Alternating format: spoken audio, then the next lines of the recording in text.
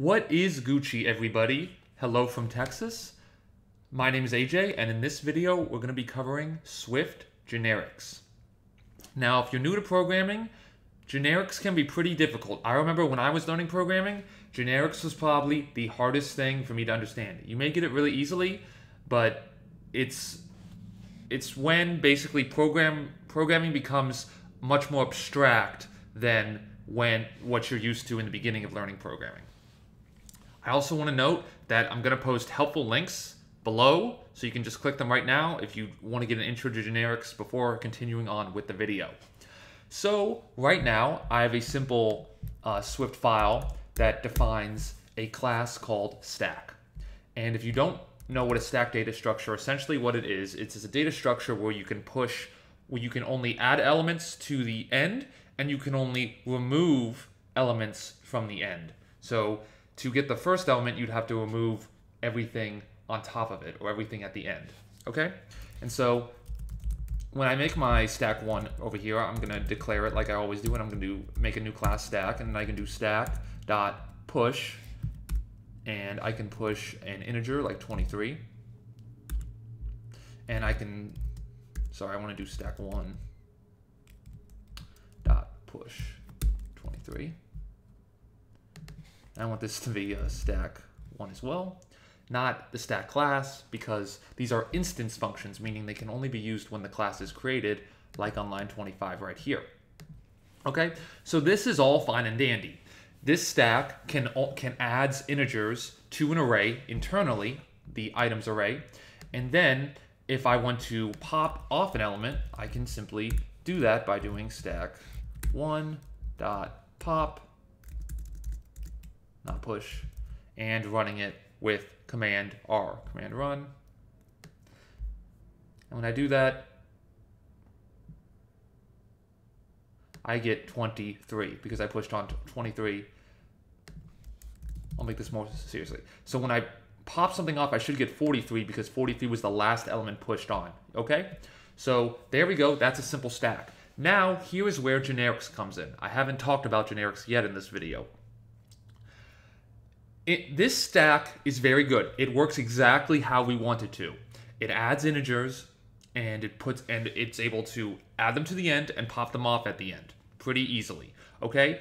But what if we needed a stack that used that added strings, not integers? Well, I would need to copy this kind of and then change integer right here to string you know, I need to change all the types. I can't add strings to this array here. So I would need to make like a string stack class, as you can see here. And then I would need to, yeah, basically do that. And then if I made another type, say like an employee class, and I wanted to add, you know, my array of employees, I would need to do that as well. Okay? So that can be pretty burdensome to do that. I could make 50 stacks possibly. So that's not really abstract. And in programming, it's very good to be as abstract as possible so that you can reuse your classes later. Reuse. That's really what I kind of think about programming the most is that it's really hard to get to get a grasp starting out on programming because a lot of the concepts are used for the mindset that when you make a million line program, when you make a program with thousands of people working on it at the same time, you want everything to be as abstract as possible so other people can use your code easily. And when you're beginning your code, you want to make you kind of want to take this narrow road and make your code as like finite as possible because you're just understanding everything and you just think the program works for you. So generics help to make your program more abstract. And the way you can do this is by using arrow brackets. And so what generics is going to solve is it's going to solve a problem. It's going to solve a problem that this stack is only allowed to use ints. Well, now we're going to use we're going to make a class that can you that can take any type. So we can add anything to this array and it's going to be using by it's going to be using generics. So we can do this by simply doing stack and then an arrow arrow bracket and then a closing arrow bracket and then giving it a name. So by doing this, I put in element. And so what I'm saying here is we are going to have a generic element, a, gen a generic type that's name is element. So I'm making a generic type. And what that means, it's really confusing, I think, in the beginning. A generic type can be anything. And if you don't understand that, just watch the example I show at the end. So basically, I'm defining a type that doesn't exist. I'm defining my own type, and I'm calling it element. Just like when you make a class, you kind of define your own type that you can declare later in code. So I'm defining a type called element. And so now I'm going to change all of the classes, all of the instances where int was, I'm going to change them to element because now element is the type. The array is of type element, push takes an element, and pop takes returns an element, okay? So now here on now here on line 26, when I declare my stack class, I am going to say I now need to say what type this stack takes. And I'm going to say it takes a string. So then I define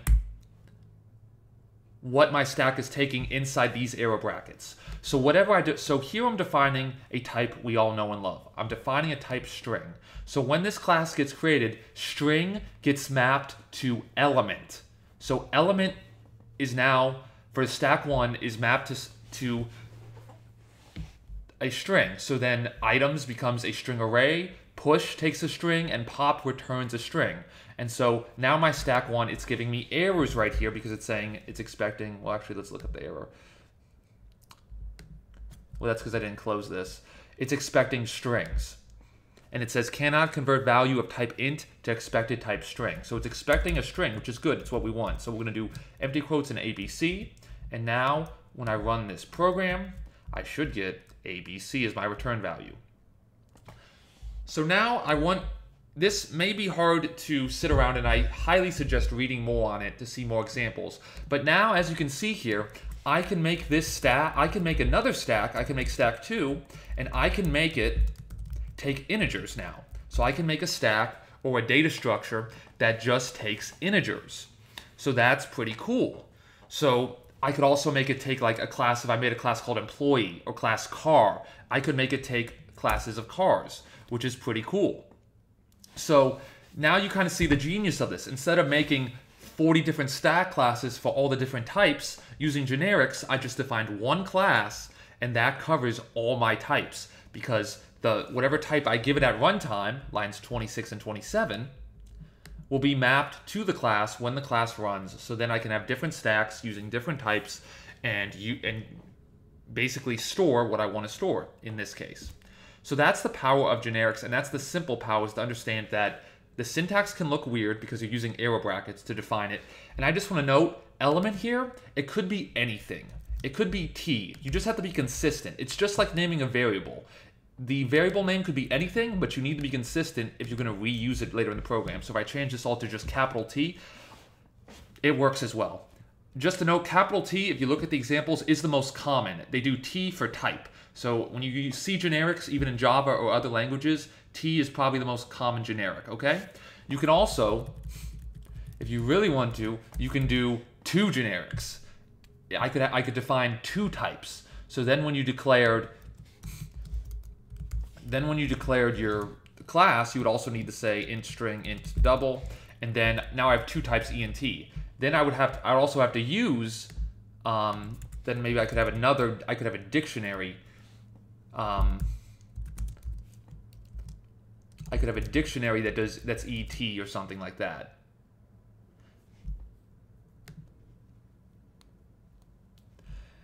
Now we have something very interesting here that I'm going to cover because I'm going to cover everything about generics right here. So actually, I tried to make a dictionary that has keys of type E and values of type T, which is mapped at runtime, like I said. But now I get an error that says, just so I can show you, type E does not conform to protocol hashable. So that means that for dictionaries to work, you need to define to a protocol hashable. And so to, to fix this problem, what we can do is, is we can also make generics, we can make them inherent, inherent, inherit from protocols. So now I'm saying stack. It has two generic types. It is type T, which can be anything, and it's type E. And E must be hashable. So most types are hashable. So hashable is a protocol that the dictionary uses to arrange itself. So it's used to evaluate the keys. So for instance, if I look at the string class by command clicking on it, I can probably see what it inherits from, if it's somewhere here. Maybe this isn't a good thing to look at here. I've got a struct double, but a string does conform to the hashable class, and it doesn't do that when I do there. So therefore, now I can make dictionaries out of that, which is pretty cool. Okay, guys? I hope you enjoyed this video, and ask any questions. This is a very difficult topic. Have a great day. Hi guys, thanks for watching.